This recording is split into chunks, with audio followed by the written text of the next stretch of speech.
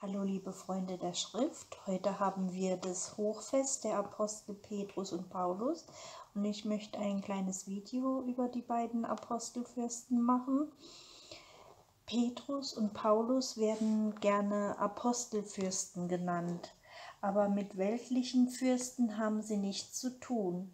Fürsten sind sie, weil sie Anführer unseres Glaubens sind, Hauptzeugen des Todes und der Auferstehung Jesu. Ihr Glaube ist Maß für alle Christen. Am Festtag dieser Apostel gedenken wir des Anfangs der Kirche. Gott hat sich schwache Menschen auserwählt, um Verkünder und Träger seines Heils für die Menschen zu werden. Gerade ihre Schwachheit ist aber zugleich das Durchlasstor der Gnade Gottes. Die Kirche ist bleibend auf das Fundament dieser Apostel gebaut und hat so die Kraft, die Zeiten zu überdauern. Tagesgebet.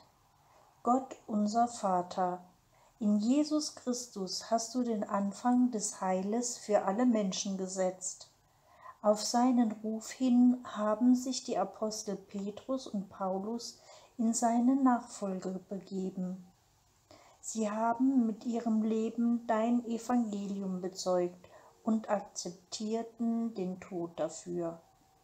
So sind sie Vorbilder unseres Glaubens und unserer Nachfolge. Lass die Kirche auf dieser Basis immer neu entstehen und zu neuen Ufern aufbrechen.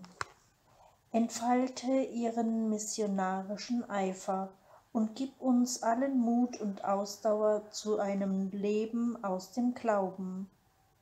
Darum bitten wir durch Jesus Christus, deinen Sohn, unseren Herrn, der mit dir in der Einheit des Heiligen Geistes lebt und herrscht in Ewigkeit. Amen. Gottes Segen und einen erholsamen Abend euch allen.